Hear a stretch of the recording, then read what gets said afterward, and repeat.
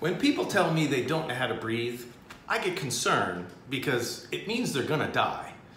What they really mean is they're uncoordinated when it comes to breathing when singing. And that's a far better problem to have than death.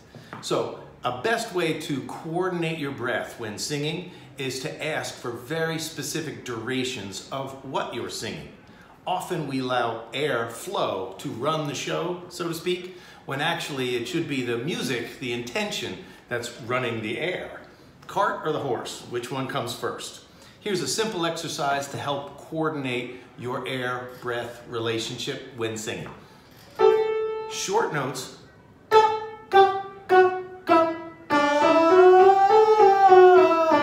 including the last note at the end of that scale.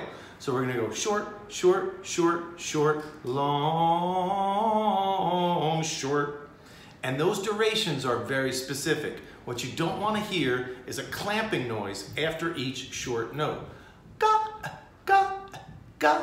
You don't want to hear any noises of the throat because that indicates these neighboring muscles or the folds themselves are acting as a clamp or the brakes to the air. It means that your torso is not responding to the coordination needed to send up flow and stop. Send up flow, stop. It's like green light, red light, green light, red light.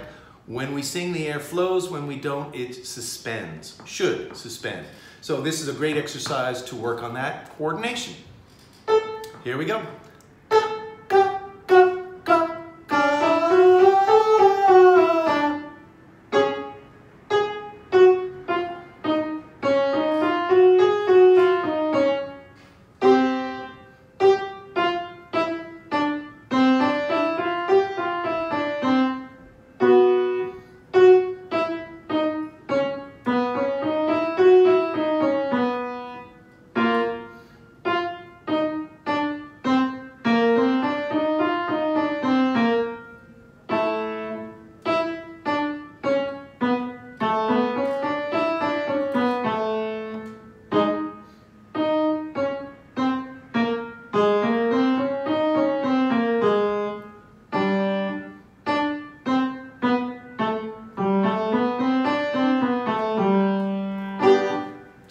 That.